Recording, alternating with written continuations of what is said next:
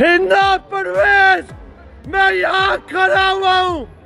तू आराम से अस्सलाम वालेकुम वरहमतुल्लाहि वबरकातुहू हिना परवेज़ भट्ट साहिबा के साथ लंदन में इंतहाई नाखुशगवार वाक़ पेश आया।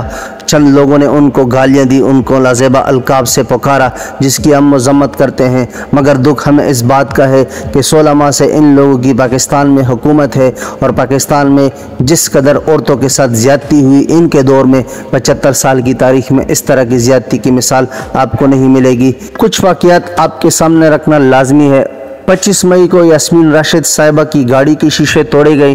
वो एक बुज़ुर्ग खातून है। उनके ऊपर पुलिस ने टॉर्चर किया। उनको मारा, घसीटा, मगर इनके मुँह से एक अल्फाज भी मजम्मत के लिए नहीं निकला और उल्टा ये लोग उसे मकाफात अमल करार दे रहे थे। अभी हाल ही में पीटीआई के एक रहनुमा उस्मान डार के घर पर पुलिस ने छापा मारा।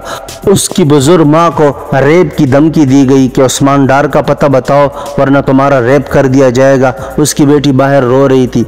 इसके अलावा तैयबा राजा की वीडियो सोशल मीडिया पर मौजूद है। जब उसने पंजाब पुलिस के सामने अपना दुपट्टा फेंका तो उसे हाथ से घसीटा गया।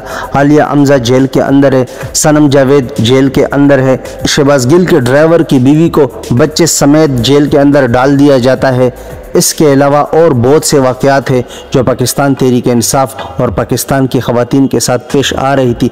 इमरान खान साहब बार बार इस तरफ़ निशानदेही कर रहे थे कि पाकिस्तान में औरतों के साथ जुल्म सितम हो रहा है, खुदा रहे इसको रोके, अब आग लंदन तक फैल चुकी है और हिना परवेज़ भट्ट जैसी औरतें अब लंदन में भी महफूज नहीं है। लेकिन हम फिर भी इसकी मजम्मत करते हैं। इस तरह नहीं होना चाहिए, मगर यही वो लोग थे जब वो हुकूमत में बैठे थे तो ये तहरीक इंसाफ और पाकिस्तान की खातन के ऊपर हंस रहे थे। इन लोगों की इतनी ज़रूरत नहीं थी कि उस वक्त इन खातन के लिए एक दो लफ्ज़ ही मजम्मत के अदा कर दें। लेकिन अब जब हिना परवेज भट्ट साहिबा के साथ ऐसा हुआ है तो सहाफ़ी भी सामने आएँगे, जो कि हकूक नस्वा के चैम्पियन बनेंगे। अगर अफसोस है इनकी सहाफ़त पर कि इन्होंने हमेशा से एक तरफा सहाफ़त की, इन खातन के लिए उस वक्त इनकी ज़रूरत नहीं थी कि एक लफ्ज़ अदा करे। और हिना परवेज भट्ट साहिबा के लिए तो मैं ये कहूँगा कि उन्होंने हमेशा से लोगों का मज़ाक उड़ाया है। उनके टाइम लाइन्स पर इनके ट्वीट्स अभी भी मौजूद है। बहरहाल माशरे में ख़वान का एहतराम लाजमी है।